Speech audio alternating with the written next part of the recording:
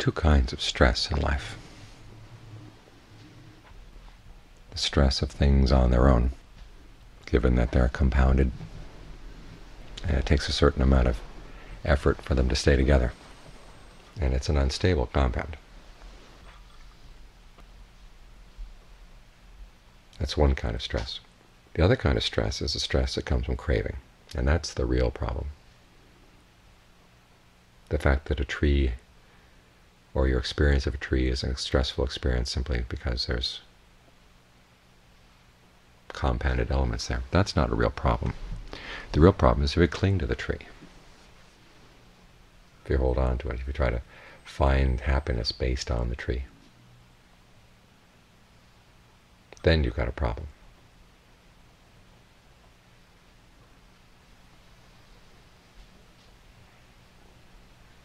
The first kind of stress is the stress of the three characteristics. The second kind is a stress in the Four Noble Truths, dukkha, which can also be translated as suffering, dis-ease.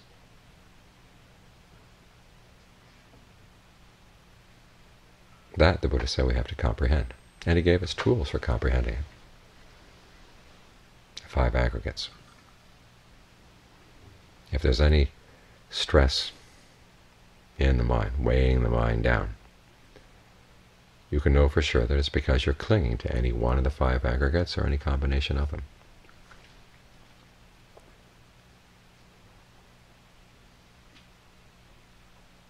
And even though we take our stress and our suffering very personally, these are tools for learning to step back from the suffering, so you can watch it and see it simply as an event.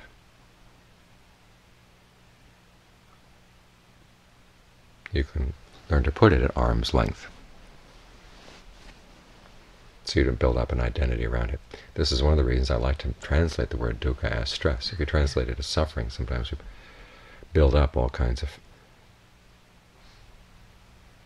melodramatic narratives around the suffering.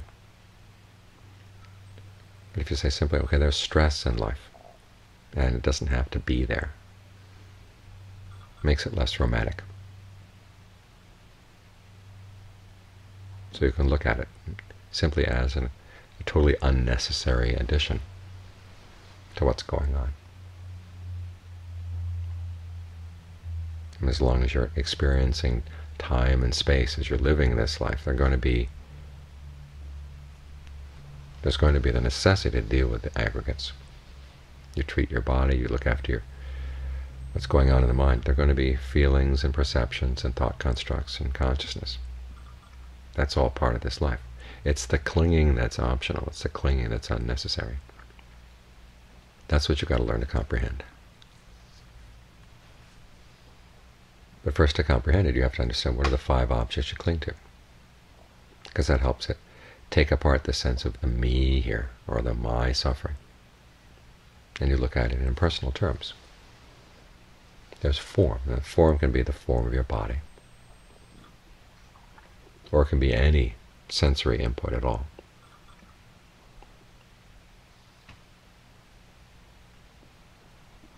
And as for the form of the body, that's a matter of what's what are called the four elements, or the four properties. There's solidity and there's liquidity.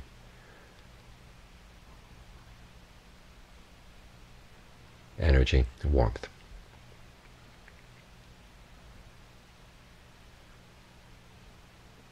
Those kinds of sensations count as form.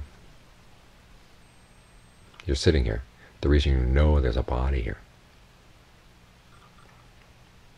It's because of these four kinds of sensations. Now on top of that, there may be feelings of pleasure or pain, or neutral feelings. And even though these may be associated with a body, they they themselves are not body. It's important to make that distinction, because we often confuse them. Say there's a pain in your leg, or a pain in your back, a pain in your shoulder. The pain and the shoulder often get equated in your mind like the pain has seized the shoulder, fully inhabiting the shoulder. You can't have any experience of shoulder without the pain. Or the same with the knee, whatever, wherever the bo body and the pain are dwelling together, we tend to glom them together as one thing. And so say the pain and the sensation of solidity become one, or the pain and the sensation of warmth become one. Now that solidity lasts for quite a while. Same with the other elements. And so it makes it seem like the pain is just one constant buzz right there. Because you've glued it together with something that is more solid and lasting. But if you can learn how to distinguish between these two things, okay, there's the pleasure and there's the pain, and then there's the solidity and warmth and liquidity and energy. Put them on two different sides. See them as two different kinds of sensation. Then say if there's a pain in your leg, focus on the, the form sensations. And allow the pain and pleasure sensations just to come and go.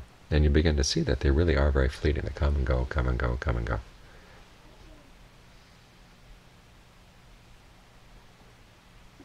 And just that insight is often enough to help you see that the suffering that you so strongly identified with is not nearly as solid as you thought it was, because you glued it on to something solid. Now you can unglue it. This is why discernment is often compared to a knife, just cutting through different things, seeing how you can analyze your, your sensation of the body in different ways. And then you're watching the pains coming and going. You're going to begin to see that they're affected by your perceptions. These are the labels you put on things. One of the major labels, of course, is your label of the pain. And there may be also a visual image in the mind that you create around the pain. To learn to see that as something separate, because the perception arises and passes away.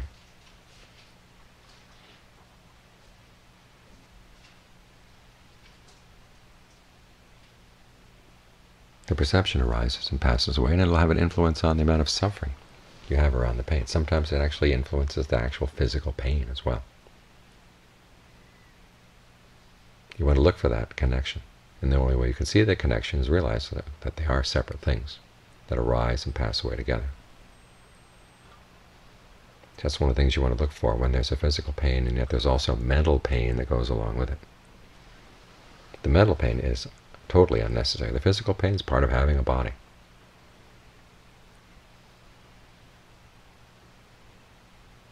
These things are bound to be there. But the mental pain is unnecessary. You don't have to carry the physical pain around. The reason you do carry it around is there's a perception, the perception of my pain, or my knee is pained. So again, you can use the the template of the aggregates to start dividing these things up. There's the body, and there's the feeling, and then there's the perception, the label you have about the pain. And then there are all those thought constructs. These are the narratives you build up around the pain. Why is this happening to me? I don't deserve this. Or you think about all the pain you've suffered for the past hour or so, or for the, that, especially if you've been ill, it's been there for a long time, and it may be there for a long time into the future, and you start thinking about that. That adds more suffering on top. So again, see that the perception and the thought constructs are optional. And you don't have to believe them, you don't have to feed off them. This is where our emotions around pain, both physical and mental, get get formed. It's in this thought construct area. And we put all these things together into stories. Why is this happening to me? And on and on and on. So take that apart as something separate. And then there's your consciousness of these things, just the simple awareness. The pain is one thing, the, the awareness of the pain is something else. Again, they don't have to bleed together, where they often do, or don't have to be glommed or glued together the way they often are.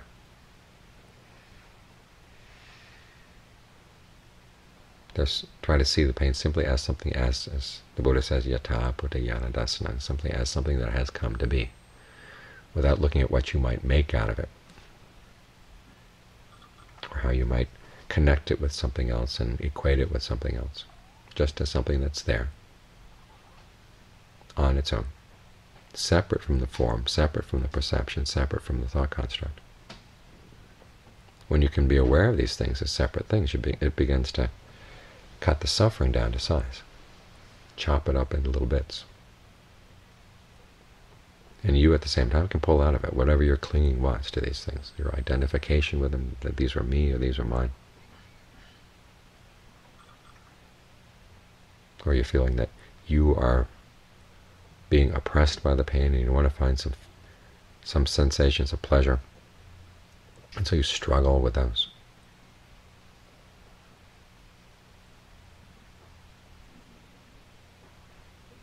You can stop that. You just look at, okay, this is something that simply has come into being. You want to watch it as it is come into being. Without seeing what you can whip it up into. It's like having raw materials for a meal.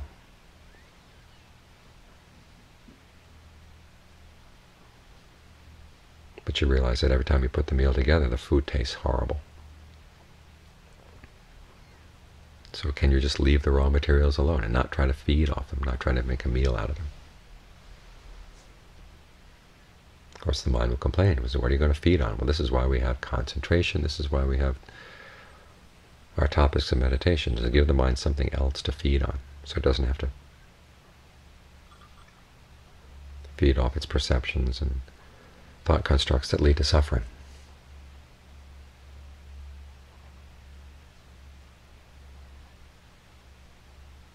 So try to get the mind in a good solid place, as the Buddha said. It's, it's when the mind is in concentration that can see things as they've come into being, i.e. before you've manipulated them and dressed them up into something else. Just see the raw materials as they are. The mind in concentration can see them. The mind out of concentration can't see them in that way.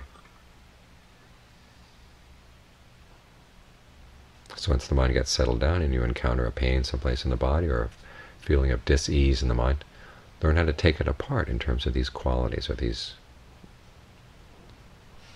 these raw materials.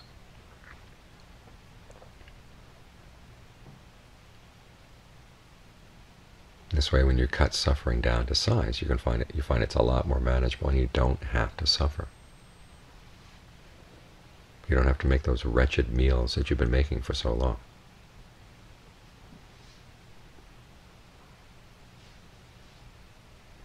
Because on the one hand, you've got better food, and this better food ultimately will take you to the point where you don't need to feed. The raw materials can be left as raw materials. If you put them together, you've learned how to put them together in a much more skillful way.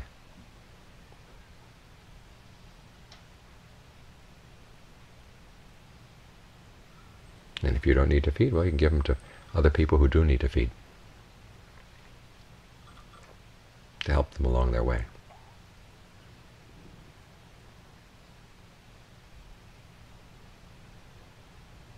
So these are a few beginning directions in how to comprehend suffering.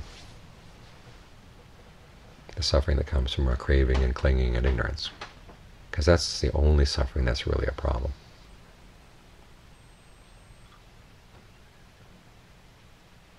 And you find as you start along this direction that you'll gain your own insights into how precisely you've been feeding, how precisely you've been trying to put these things together into whatever the kind of meal it was. But this is enough to give you a start.